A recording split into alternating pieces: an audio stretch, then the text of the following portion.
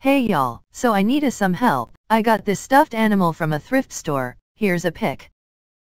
Cute right, if y'all can comment some names it would be helpful, okay bye and Merry Chrysler.